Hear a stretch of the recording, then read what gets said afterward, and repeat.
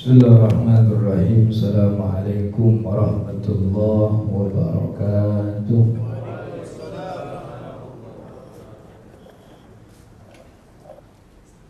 الحمد لله رب العالمين اللهم صل وسلم وبارك على سيدنا محمد أما بعد الحمد لله كده بالشكر Malam hari ini Allah panjangkan umur kita Allah sehatkan badan kita Sehingga bisa menunaikan salah satu sunnah Nabi Muhammad Sallallahu Alaihi Wasallam Yaitu Qiyam Ramadan Di malam yang ke Malam 4 atau malam 5 nih?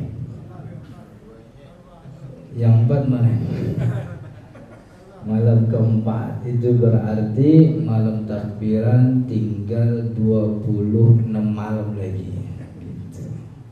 kalau yang udah empat kalau yang udah lima berarti 25 malam lagi insya Allah malam takbiran jadi para jemaah yang dirahmati Allah karena ini masih awal-awal Ramadan tidak ada yang salah kalau kita malam hari ini belajar tentang salah satu rukun puasa.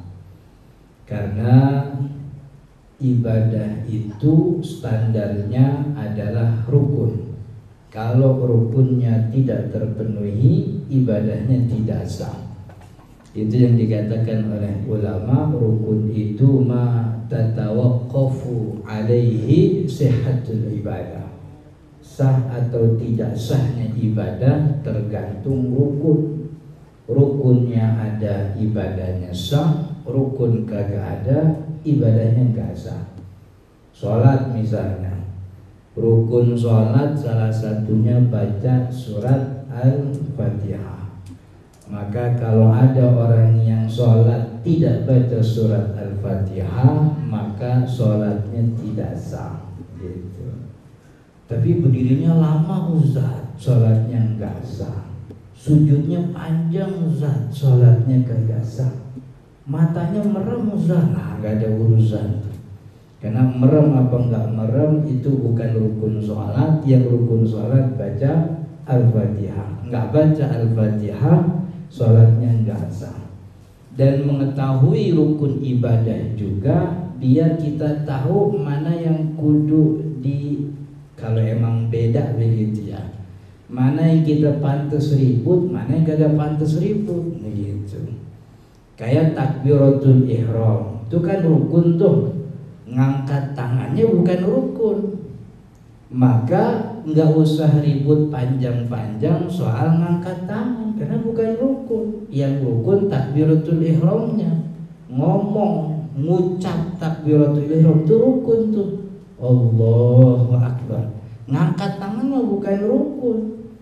Makanya karena bukan rukun orang ngangkat tangan sampai kuping boleh sampai dada juga nggak apa-apa. Asal yang diangkat tangan sendiri kalau yang diangkat tangan orang bisa gak jadi sholat kan ya? Kita ributnya kadang salah. Sama kayak lagi tahiyat itu. Rukun sholat itu baca tahiyat itu, bukan nunjuk apa kagak. Memberikan isyarat tunjuk bukan rukun sholat.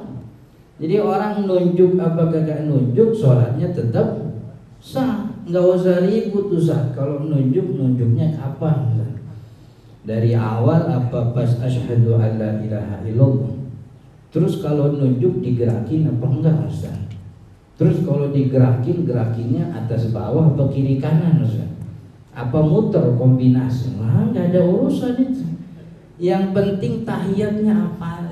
Itu yang rukun gitu. Jadi kalau kita tahu mana rukun mana bukan rukun kalau ngomongin ibadah pantas itu diomong puasa juga sama. Kalau kita tahu mana rukun mana bukan rukun kita nggak bakal ngomongin Allah lakasum itu bukan rukun itu mah. Allah lakasum tuh mau doa ya boleh. Kagak doa Allah lakasum tuh langsung makan juga nggak apa-apa kan ya? Orang Indonesia apa pun doanya kalau buka puasa mau bakwan-bakwan juga tuh. Gitu. Nggak usah ributin Allah malakasum tuh. Jadi panjang banget ributnya Allah malakasum tuh. Makanya gorengan juga kan nih. Kalau beneran mau ngikutin sunnah Nabi, sunnah Nabi itu kan makannya bukannya kurma, kan ya?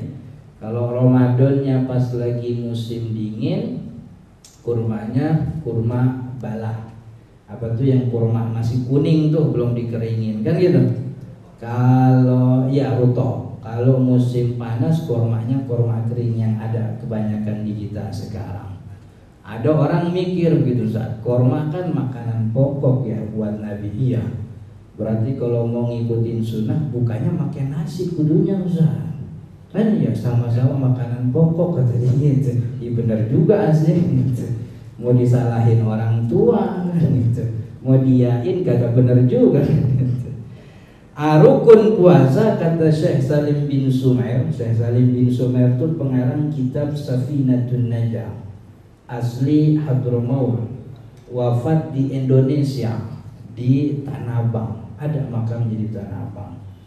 Dulu beliau kalau Syekh Salim di Indonesia itu bareng pas Imam Nawawi lagi di Mekah. Imam Nawawi Banten.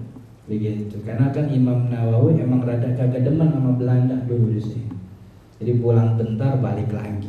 Kagak demen dia sama Belanda itu pokoknya dulu Belanda kagak demen sama ulama begitu jadi kalau ada penguasa kagak demen sama ulama ya begitulah. Jangan diterusin saya ngeri. Jadi Syekh Salim bin Zumair bilang dalam kitab Safinatun Najah wa arkanus saumi salah satu asya. Rukun puasa ada tiga perkara. Kalau sholat kan rukunnya panjang 17 rukun sholat. Wudhu rukunnya ada 6 Niat Kemudian basuh muka Tangan sampai siku Usap kepala Basuh kaki sampai mata kaki tertib tapi kalau puasa cuma tiga. Kata saya Salim yang pertama niyatun yaitu niat. Kemudian salah satu pensyarahnya saya Salim menulis kitab disyarah oleh Imam Nawawi Banten namanya Kasyifatus Sejak.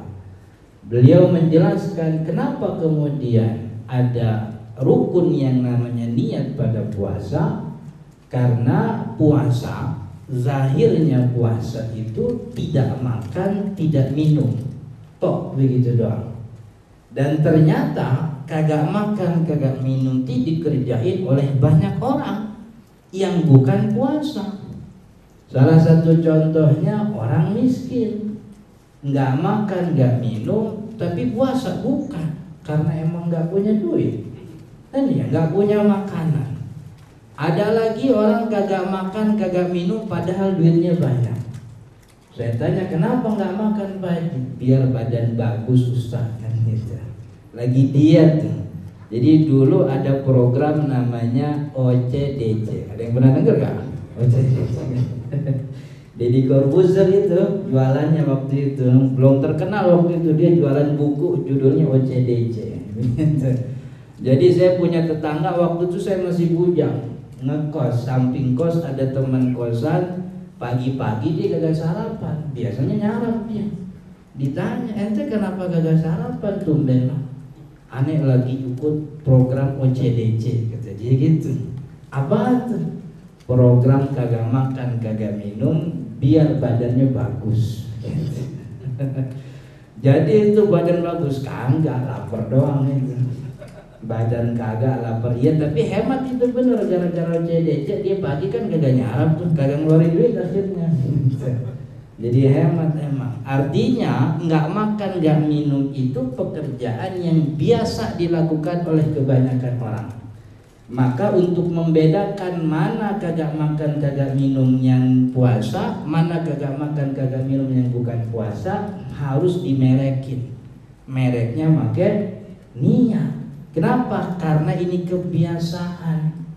Begitu. Yang mana niat itu punya fungsi membedakan antara ibadah dan kebiasaan. Kalau ada kebiasaan yang teknisnya mirip kayak ibadah, untuk membedakan mana kebiasaan, mana ibadah, maka harus dikasih merek. Mereknya yaitu nih niat. Gampangnya begini. Kita punya kebiasaan namanya mandi. Mandi kebiasaan bukan? Ada gak yang gak biasa mandi? Nggak ada kan? Biasa kan kita mandi. Ini jemaah perempuan ada Ustaz? Ada di bawah. Saya mau ngomongin. Jemaah perempuan ini kebiasaan kita mandi, orang Indonesia mandi dua kali, tiga kali. Apalagi kalau perempuan tuh, ya isi-isi kita tuh, bini kita tuh kalau mandi bisa sampai lima kali. Apalagi Sabtu Minggu, tergantung kondangannya berapa kali. Kan iya, ya, kita punya bini kan ngerasain kan ya. Makanya setiap rumah tangga tuh selalu punya lemari yang kacanya gede dari atas sampai emang tuh buat perempuan itu karena perempuan ngaca tuh kan kalau ngaca sambil muter. Maka kalau kacanya cuma sebadan kagak kena itu. Mandinya lima kali tergantung kondangannya berapa kali. Itu setiap kondangan beda kostum itu. Pagi beda, menjelang siang beda, siang beda lagi, entar sore beda, malam beda lagi. Kalau kita nih orang laki kan nyantai. Kondangan tuh pakai batik dari yang pagi sampai malam kita pakai ganti-ganti. Itu juga batik bekas pulang kantor hari Jumat kemarin. Katanya sekalian kotor kan gitu. Bininya nanyain bang, batik ganti nggak bang? Kata lakinya, ya neng timbang ngantri makan doang pakai rapi-rapi aman gitu. Kan kondangan kan isinya mengantri makan doang. Timbang ngantri makan doang ganteng-ganteng amat kan gitu. Gue mau udah laku ini kan gitu.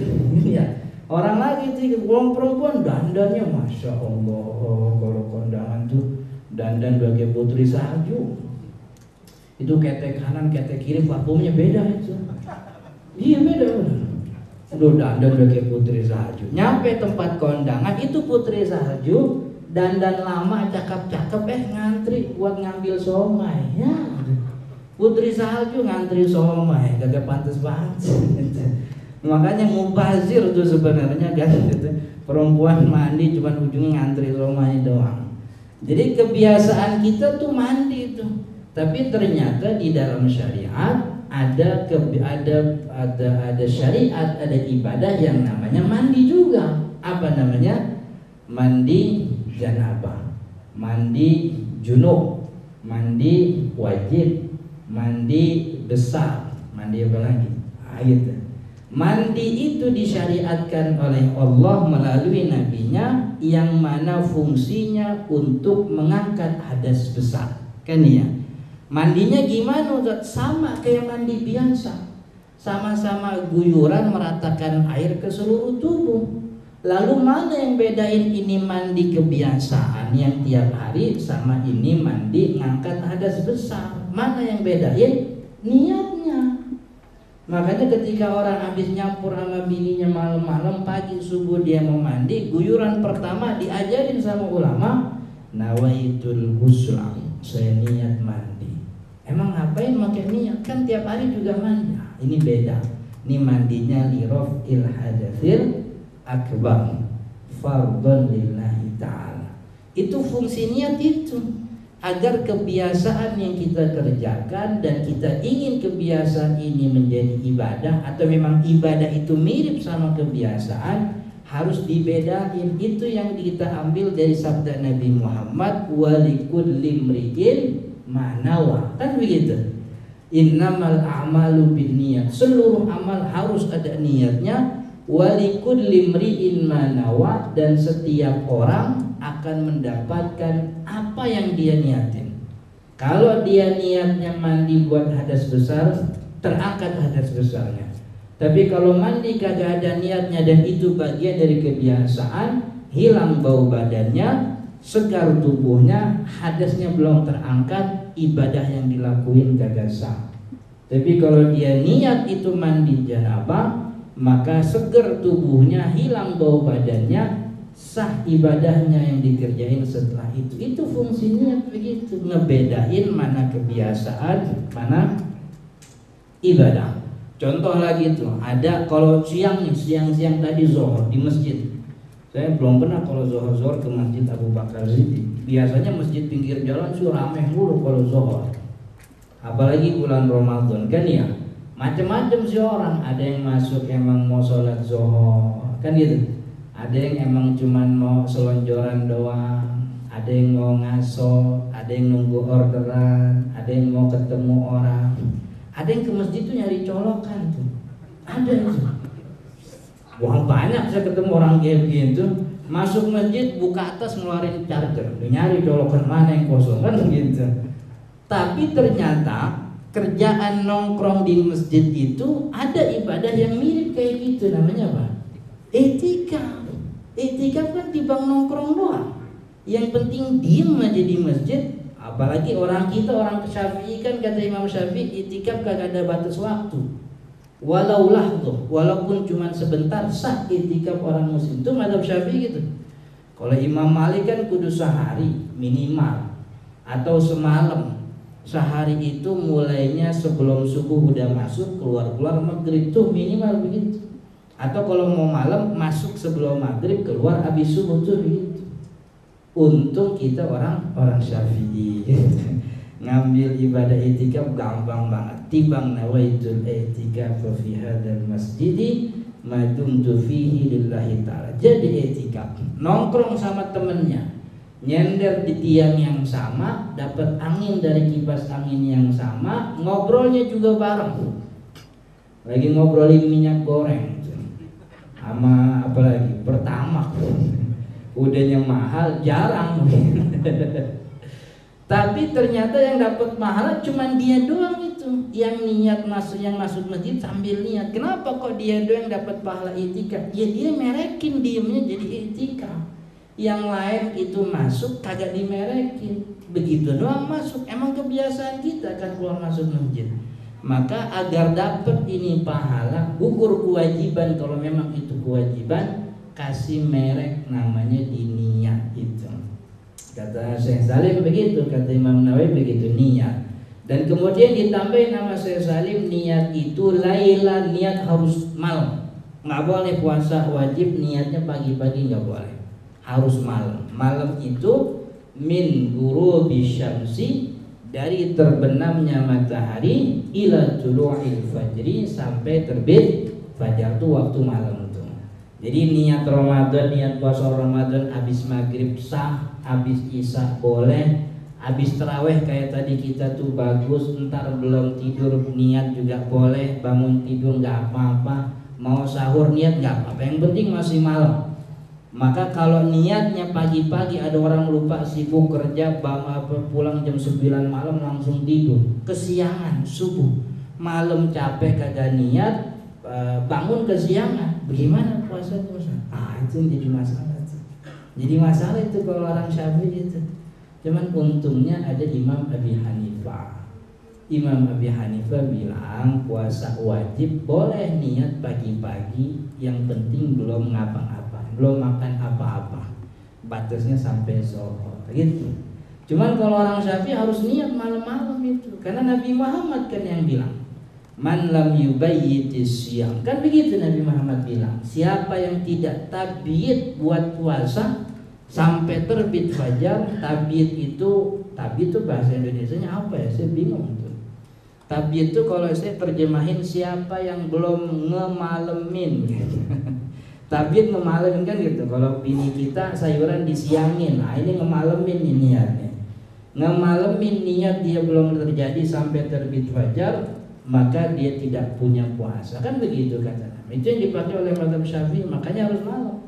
Jadi makanya nih dengan segala hormat kalau kita memang rada susah niat habis terawih karena mungkin kita jarang sholat terawih atau mungkin kadang lupa saya biasa udah lama niat puasa tuh saya biasanya habis Allahumma lakasuntu. Iya. Allahumma lakasuntu minum teh segelas langsung nawaitu saumal wadi. Biar nggak lupa. Biar ibadahnya apa namanya eh, sah begitu. Jadi kalau orang lupa menjelang sahur boleh, boleh. Kalau di TV itu niat puasa tuh imsak 10 menit ya, gitu. Saya udah jarang kalau sahur nonton TV. Terakhir saya nonton TV. Soalnya saya kalau tiap hampir 2 tahun ini puasa sendiri mulu. Karena bini tahun kemarin hamil. Terus nyusuin. Kalau ada temennya saya puasa. Jadi kalau saya sahur nyetel TV, bini marah, anak pada bangun, kan repot itu. Jadi keluar tenaga lagi kan. Akhirnya pas bangun sahur langsung mindik-mindik ke dapur buka nasi makan. Nggak pernah nonton TV. Terakhir nonton TV saya lihat ada Afgan di SCTV. Imsak 10 menit sebelum azan dia nyanyi. Cuman nyanyinya nawa itu Somowodin. Iya Afgan itu. 10 menit sebelum azan dia nyanyi. Saya pikir dalam hati, ini SCTV buang-buang duit ini. Sayang kalau tibang nawa itu sama godin bocah sini juga banyak yang bisa. Gitu. Kenapa kudu manggil Afgan kan ya? Bocah sini kasih nasi goreng aja udah demen kan. Cuman itu benar tuh Afgan tuh sebelum waktunya sebelum azan dia niat benar tuh itu waktu injury time paling ujung banget itu niat versinya madzhab Imam Asy-Syafi'i begitu. Dan penting lagi Bapak Ibu yang dirahmati Allah niat itu tempatnya di hati.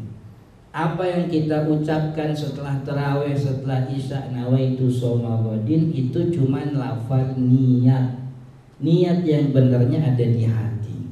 Itu yang kita ucapin supaya membantu hati juga mengucapkan. Begitu. Jadi kalau mulut belum niat, karena kalau mulut beda sama hati. Kalau hati kan ngomongnya kagak ada suaranya, nggak ada hurufnya tuh hati kan gitu. Kayak kita ngedumel sama bini kan gak ada hurufnya, gak ada suaranya tuh ya. Dulu punya abang iseng banget. Abang tiap hari pala kita ditoyor mulu sama abang kita. Iseng begitu. Kita mau lawan badannya gede banget. Kita gagal lawan, pala kita udah peang. Akhirnya kita ngomong dalam hati, entar lo bang, kan gitu gue bales lu kalau udah tua. Nih nah itu omongan hati tuh. Kagak ada hurufnya nggak ada suaranya. Nah niat tuh di situ tuh tempatnya. Saya niat puasa Ramadan wajib tahun ini lillahi. Ah di sini ya jadi mulut tuh cuman bantuin hati. Maka kalau hati sudah niat mulut nggak perlu lagi. Kalau mulut ngucap hati juga harus ngikutin. Cuman emang banyak di antara kita yang hatinya susah melafalkan niat maka bantu makanya pakai mulut. Itu sunnah dalam madhab syafi'i. Kemudian kata saya saling diterusin likur liyaumin nah, ini penting. Jadi niat puasa Ramadan selain dia memang harus malam dan malamnya itu untuk setiap harinya. Artinya terulang itu. Setiap malam harus niat. Kenapa Ustaz setiap malam harus niat? Karena setiap hari Ramadan itu tidak bersambung dengan hari selanjutnya dan hari sebelumnya ibadah itu kan kalau ibadahnya sudah selesai rukunnya angus semua. Puasa itu mulainya subuh selesainya maghrib. Besok ketemu subuh lagi rukunnya baru lagi. Karena rukun yang kemarin itu kita niat udah angus pas datang waktu maghrib. Besok ketemu ada subuh baru niatnya baru lagi. Apa namanya? Dijelaskan juga itu dalam apa namanya uh, eh, al bushrul karim muqaddimah al hadramiyah bahwa kalau kita udah puasa hari 1, 2, 3, 4, 5 hari ke-6 kita batal yang kita kodok kan cuma hari ke-6 doang. 1 sampai 5 enggak enggak kan udah beres. Itu bukti bahwa setiap hari Ramadan itu berdiri sendiri-sendiri karena itu rukunnya juga harus sendiri sendiri begitu jangan dibarengi. Ada yang bilang bareng, ada madhab Imam Imam Malik. Bagi kebanyakan ulama Syafi'i, pendapat madhab Imam Malik ini jadi apa semacam ban serep. Kalau kalau nanti ada satu malam kita lupa nggak niat, pendapat Imam Malik nih jadi penyelamat. Makanya biasanya di masjid-masjid kita ini sekarang alhamdulillah ya tahun-tahun belakang ini udah mulai ngerutin yang termasuk kami saya di rumah punya apa namanya ada musola malam pertama niatnya dua kali. Niat buat besok satu lagi niat buat sepanjang bulan satu bulan. Nawaitu jami'a nawaitu sawma jami'a syahri ramadana hadhihi sanati taqlidan lil imam malik fardan lillahi ta'ala. Begitu. Karena memang di kitab juga disebutin begitu. Jadi ada anjuran pakai pendapat ini untuk mengcover. Tapi tiap malam tetap harus harus niat. Nah, kemudian kata saya Salim syarat yang selanjutnya fil fardi. Lailan likulli yaumin fil fardi. Harus malam itu niatnya kemudian fil fard apa namanya likulli yaumin setiap hari fil fardi. Dan ketika niat orang nggak boleh niatnya. Gue mau puasa deh besok nah harus disebutin kewajiban puasanya dimerekinnya merek yang benar memberikan kalau bahasa kerennya memberikan spesifikasi yang tepat terhadap ibadah dalam niat. Maka itu ulama ngajarin nawaitu sauma godin. Saya mau puasa besok. Emang besok puasa apa? Kan puasa ada yang sunnah, ada yang wajib. Kan itu. Maka dimerekin yang benar an ada ifardi untuk menunaikan kewajiban. Wajib yang mana? Kan wajib banyak. Puasa Ramadan wajib, kodok Ramadan wajib, puasa nazar wajib kafarat juga wajib. Oh ini Ramadan wajib Ramadan. Ramadan kapan? Hadis sanah tahun ini lillahi ta'ala. Jadi kenapa kemudian muncul nawaitu wadid? Ada kewajiban mendeskripsikan memberikan ulasan yang cukup terhadap ibadah dari sabda Nabi Muhammad yang kata Nabi walikud limriyin manawa karena fungsinya itu memberikan spesifikasi yang jelas.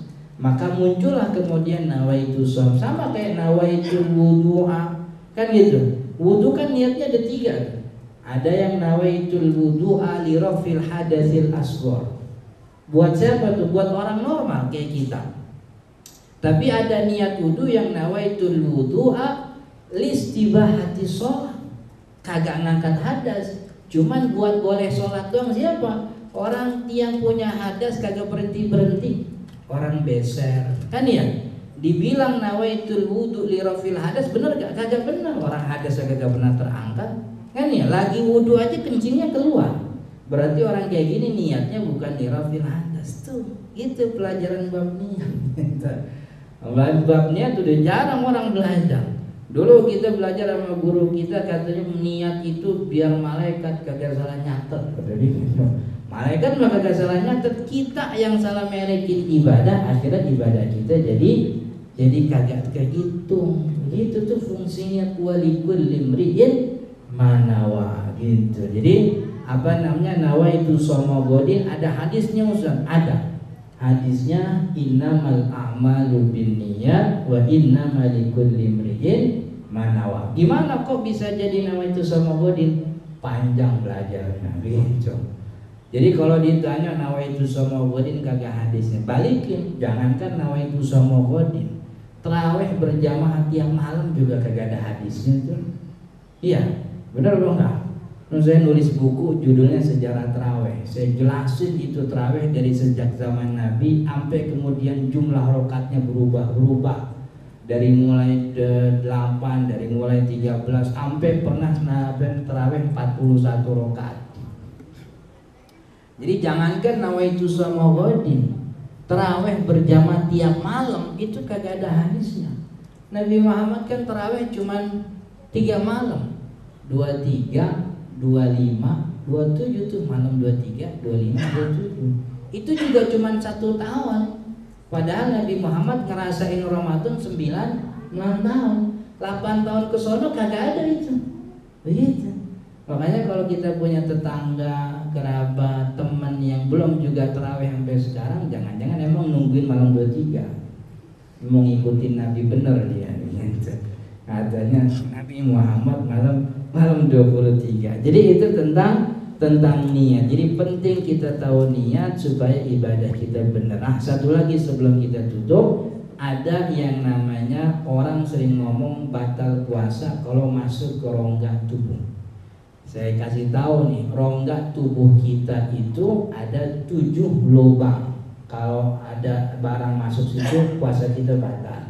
Ada tujuh lubang yang kata ulama syafi'i ini manfaat maftuh, rongga terbuka. Kalau masuk ke situ sesuatu barang yang terlihat, sengaja puasanya batal. Ada tujuh. Pertama lubang mulut, yang kedua hidung kanan, yang ketiga lubang hidung kiri yang keempat kuping kanan, yang kelima kuping kiri. 6 sama 7 kira-kira di mana? Ketemu kan? 6 sama 7 kemaluan depan sama kemaluan belakang. Tuh 7 lubang. Kalau ada barang masuk lewat situ itu namanya manfaat maftuh, rongga terbuka. Sengaja masuknya makanan bukan makanan batal. Kalau ada benda. Tapi kalau ada benda yang nggak kelihatan kayak angin, itu kan nggak kelihatan tuh. Itu yang terbang tuh kan debu. Anginnya mah nggak kelihatan. Kalau angin mah apa-apa, karena kan kita ngirup angin emang tiap hari.